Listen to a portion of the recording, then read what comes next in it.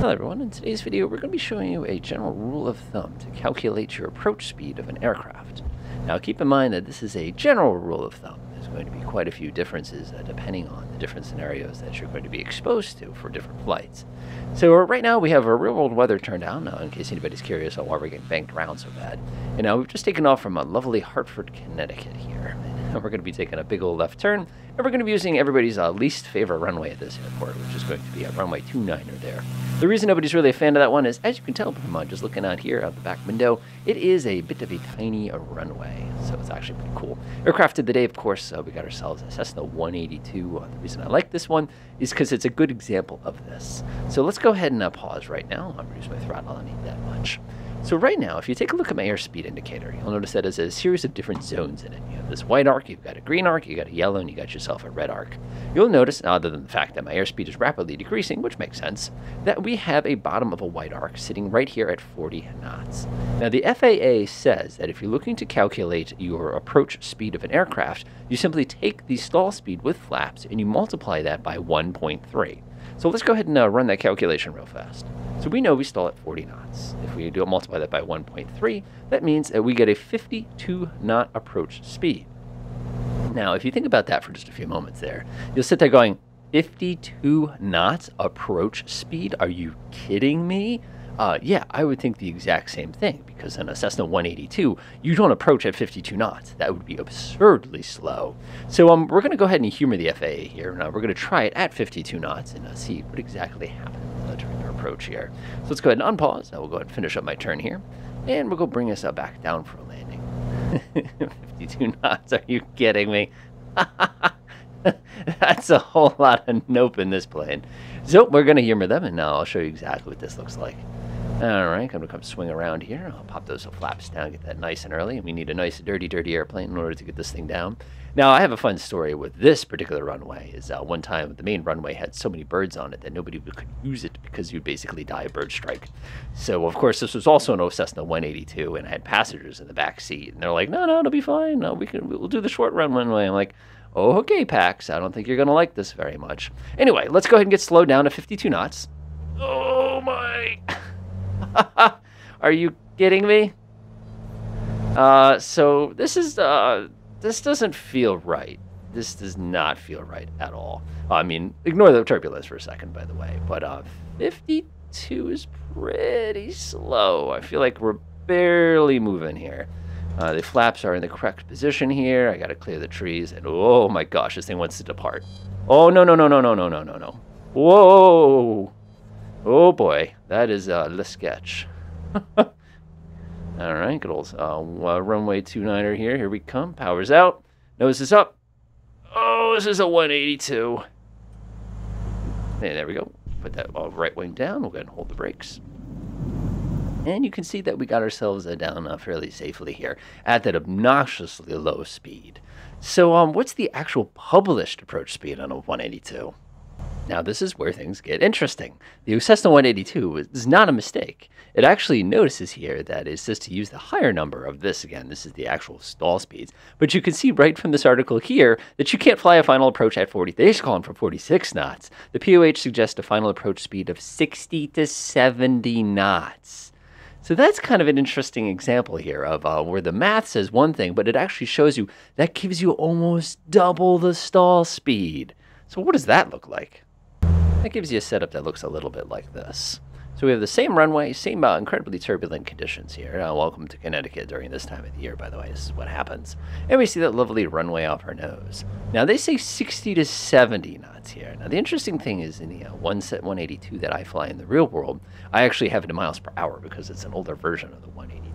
So, you know, I approach it usually typically 70 miles per hour is standard. Uh, 70 miles per hour into knots, it works out to be roughly 60 knots, which is still quite a bit faster than that 1.3x there. So let's go ahead and align ourselves up at the ground here. I'll go ahead and skip a little bit of time. You gotta like the ability to sort of fast forward. I can do this in the real plane too, but um, they tell us not to abuse it because apparently, you know, damages like the tides and everything else under the sun. All right, so our flaps are in the correct landing position. I can see that lovely runway right off our nose. We're getting bounced everywhere here. Uh, that's that lovely new turbulence model. Uh, one of the later videos this week, by the way, will be dedicated to shutting that turbulence off if it bothers you. I know our good folks over in VR land uh, really, really struggle when their screen is uh, doing one of those things when they're trying to do something important, like putting the plane on the ground. I could definitely see why that'd be critical. All right, let's see here.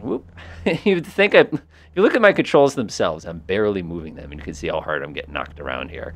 That is just the uh, fun of flying, by the way. In the real world, it's the same exact thing. Okay, we'll get over those trees. Whoa.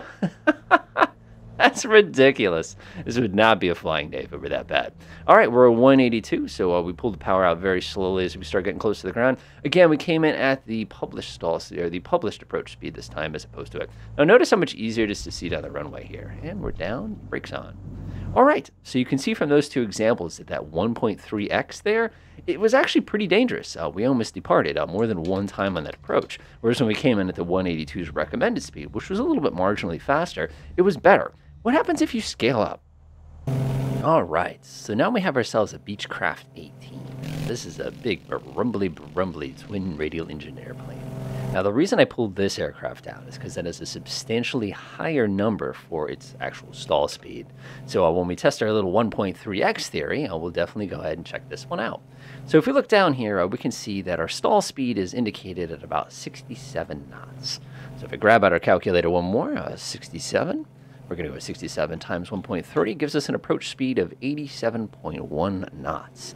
So 87.1 knots, uh, that sounds pretty good, but uh, one of the complications, of course, is that we have that little red line right now. Uh, that red line is uh, to remind us that if we have an engine out, uh, we could be in a particularly bad spot as far as uh, control of the aircraft goes. I don't watch myself, I'm not going to have control of the airplane already because I'm already at a good 2,000 feet. Um, folks, uh, please, when you make airplanes for flight sims, don't make the default view like this. See how the head is tipped down? Don't do that. Let us, the users, decide where we want to tip our heads down or not tip our heads down. All right, so let's go ahead and do this one again. So we're looking for an 87 knot approach uh, based on what the uh, good folks over at the uh, federal government tell us that we should be using for this particular aircraft. So I'll go ahead and slow down. Uh, keep in mind we have the critical engine problem here that we have, need to be thoughting of thinking of because thoughting of isn't really a thing. But uh, if you look right now, we get that little red line right at 80. So no matter what happens, if we were to go under 80 knots, uh, we'd be in a really, really bad spot. Because if we lost that engine, we tried to apply full power, uh, we wouldn't get very far very soon.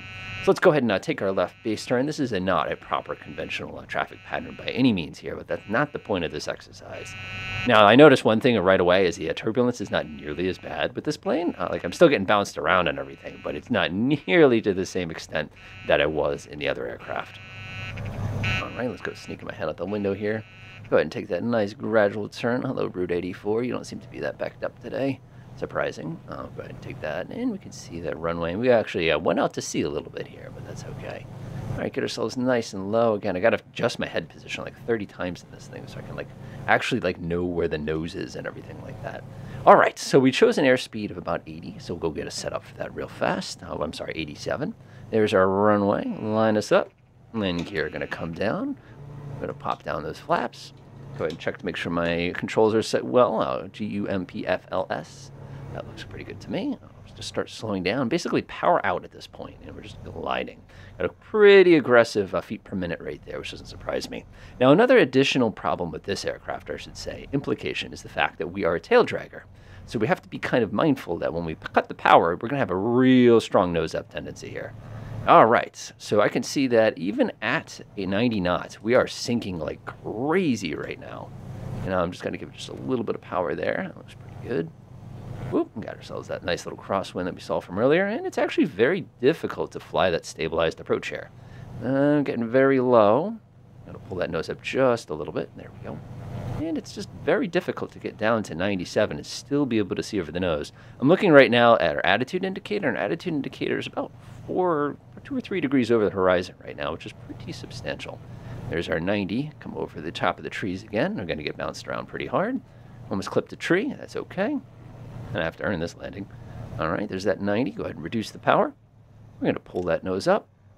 And we're going to put that right wing down first. Going to come down nice and easy. And we're down. Nice. Go ahead, hold it. Whoa. Apparently we're not.